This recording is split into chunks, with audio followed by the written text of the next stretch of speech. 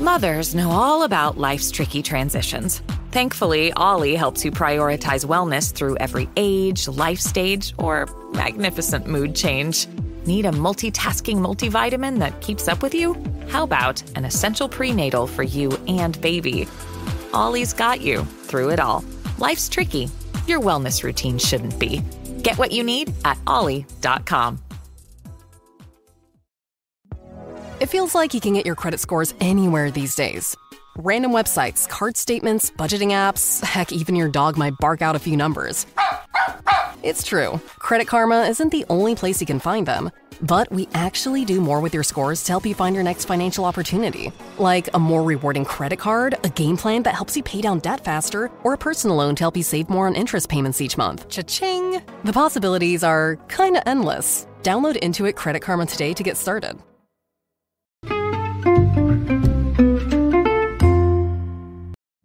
Hi, everybody, and welcome to the Dr. Psych Mom Show. Today, I'm going to talk about this hack for how you could reimagine your response style if you struggle with being assertive. And uh, I call it What Would Your Most Confident Friend Say to Your Partner in Your Place, right? Um, and this is going to cover why you would get into this situation, as well as how this can help you reframe what you think of as possible versus impossible in your relationship. And you could use it for things that aren't your relationship as well, which I'll discuss too. Uh, first, I'll tell you to subscribe. Most recent subscriber episode is if you're scared to confront your partner about their dysfunctional parenting, you will end up on the wrong side of history. And I see this a lot with people that are scared to confront their partner. Really, very similar. So, if today's episode resonates with you, you should very much uh, take that as a sign to subscribe because it, this most recent one, as well as the 175 other subscriber uh, episodes, but especially the ones about people who struggle with self esteem, self confidence, and preoccupied attachment, those will all resonate with you. And that is a fair chunk because, as you know, the avoidant people don't really listen to my podcast. Um, okay, so I did a little video on this and I said if you're struggling with how you should assert yourself or what you should say to your partner, figure picture yourself as your most confident friend. And some people can't really picture anybody. So a lot of my clients have told me that they picture me. You know, um, the women picture me directly, and the men think of what I would say to them to say, right? And so, if you're working with a therapist or a coach, of course, you can think that as well. If not, then you could think what your most confident friend or maybe what your most confident sibling would say. So, I'll, I'll give you like an example, like the one from the little video was that you're sitting. Uh, so you're struggling to bring in the grocery bags all by yourself, and your husband's sitting on the couch looking at you and looking at his phone, right? So then you might picture what would my most confident girlfriend say? Like, I feel like I can't say anything. You know, and of course, you should think, why do I feel like that? Well, probably because your mother was struggling doing everything while your father sat there. It's not too far um, of a leap to assume that that could be relevant as it is to most people who are my clients who struggle with such things. But anyway, so you often have a friend in your friend group or a girl from work or whatever, a woman from work and you would say, well, this person might say, can you get up and help me, please? You know, in an aggrieved way. that would be likely to get them up or or a way that is frustrated, that that's directly expressing frustration that this was not done. You know, and it isn't what your sweetest friend would say, and you know, or the friend most like you, because remember, there's social homophily, so most of your friends will be like you. That means like goes to like. Um, but most people can picture, or your boss, or like literally anybody who's assertive. You may even think they're aggressive.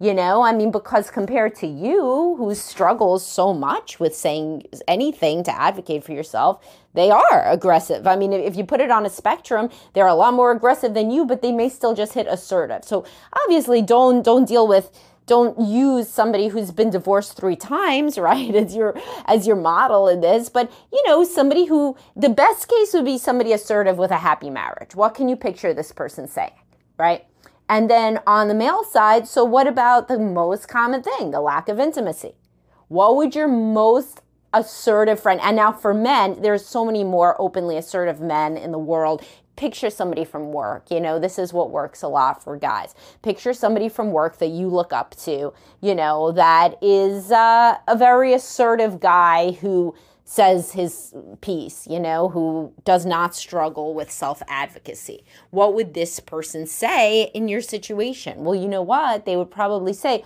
Why don't we have sex anymore? This isn't okay with me. I'm getting us into therapy. Point blank, right? Or, you know, more directly as little things happen, like so let's say you reach out to your wife and she she pulls away. So in that moment you feel like you quote can't say anything cuz quote what are you going to say? These quotes are from people who struggle with this, right? And what would he say? He would say, "Why'd you pull away? What's the matter?" You know? Just straight out, just nothing mean. Like I'm not saying to think about what would your biggest asshole friend say? Like fuck you why aren't you touching me? No i'm not telling you to do that. I'm telling you to take somebody who seems confident in their own skin like they feel that they're a person of worth now, where else can you use this? I frequently say that the exact same people that struggle with advocating for themselves within inter- within intimate relationships struggle within other relationships, such as at work, with friends, but mostly and most uh, upsettingly with children. So, this is the people to whom I have addressed the podcast Stop Letting Your Kids Treat You Like Garbage right? So, what would your most confident friend say when her kid says, uh, Ew, dinner's disgusting? What would your most confident friends say? They'd probably say something like, Don't speak to me like that. That is very rude. If you don't like it, you can just sit there and eat the other things on your plate. And that's very rude. Don't speak to me that way. I mean, you know, you're you're in charge of everything. You're in charge of the phone. I mean, this is a different topic, but you have the full full control of everything. It's like in Black Mirror now. If you have your kids' screen time set up, by the way, it's like you could press a button and they are just offline. So truly, like you are it's like grounding, but it's so much easier, you know? But that that and but most people don't even have to get to that point. They haven't even tried speaking directly and assertively to their own kid. If that doesn't work, if your kid's like, I mean, I cannot even picture this in most situations, but if your kid's like, no, well, it is disgusting and I'm going to tell you it's disgusting, then you say, you've just lost yourself some screen time. You know, and we're going to have a different frame in this house where you're not allowed to speak to me like that. And I shouldn't have let it get on, go this long. But when you speak to me like that, I take off an hour of screen time but you have to of course, put your money where your mouth is. You got to set up some screen time controls. I mean, this is uh, probably for a different podcast, but a lot of times you just don't have the infrastructure, you know? Like, it, it's truly like you don't have the infrastructure to make good on your promises. So, that in and of itself is something that people don't understand, especially if they grew up in dysfunctional homes. They feel like they don't have the bandwidth to get things going in a way that they could potentially have some consequences. You know, they don't have the good things that the child looks forward to on one end, and they don't have anything they could take away on the other end. But, you know, hopefully this piques your interest because I'm now sure I'm going to do a podcast about it. But anyway, what would your most confident friend say about your kid being a jerk? Well, I just told you. Um, and what would they say about your wife being rude and your husband, et cetera, et cetera.